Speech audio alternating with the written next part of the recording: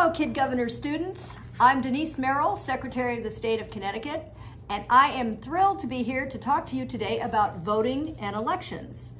As Secretary of the State, part of my job is to oversee elections in Connecticut. And that's something I want to teach you about today because this will be important for the rest of your lives because I'm hoping all of you will learn how to register and vote in every election. So first of all, let's talk about how do you get elected to begin with.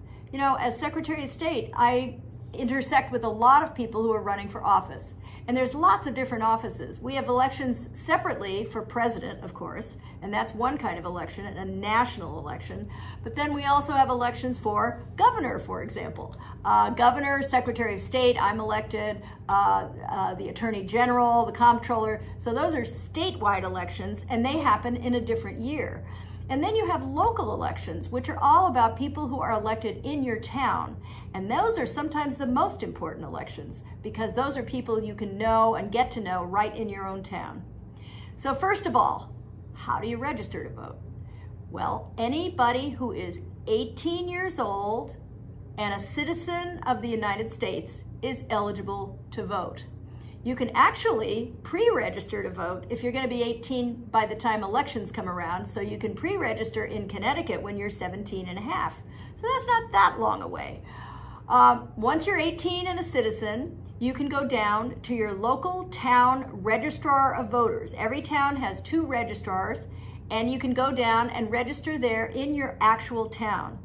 Um, and you need to bring some kind of ID to show who you are. So by that time, you might have a social security card, you might have a driver's license, you can bring anything you want, a birth certificate, but something to show that you are the person who is registering to vote.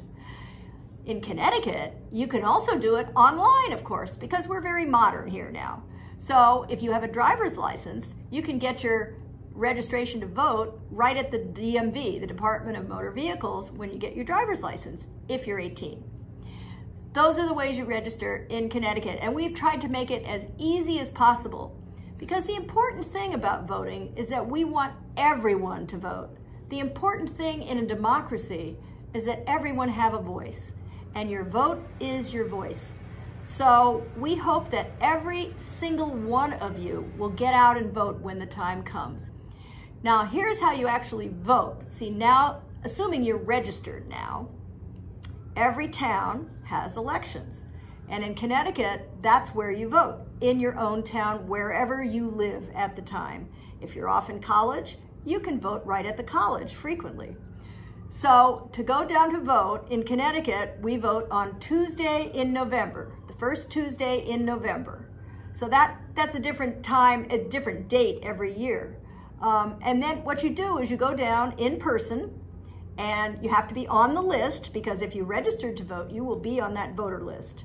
You go down to your polling place, and there's lots of them in each town, and you will be assigned to a specific polling place. So you go to that polling place. A lot of times they're in schools um, or town halls, but a lot of them are in your, your own school, usually. And you can see that on election day. I'm sure in some of your schools, your schools are used as polling places. When you go there, they check you off the list, they give you a ballot and you vote for the persons of your choice.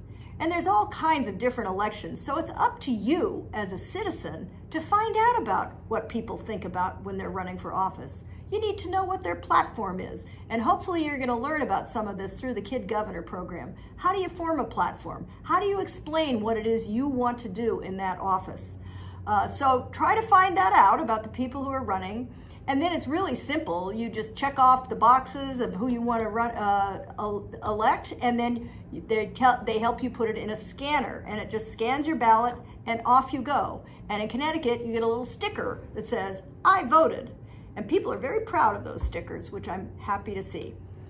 So that's about it. It's, it's really not a hard thing to do, but it is terribly, terribly important that every citizen in this country vote in every election because we want everyone at the table. And if there's enough of you that think a certain way about a certain candidate, that's the person who gets elected. You have to get 51% of the vote to get elected in, in the United States. So that means a majority, more than 50%. And then you're in.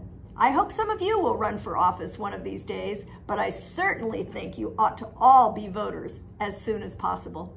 So thanks very much and have fun with the Kid Governor program.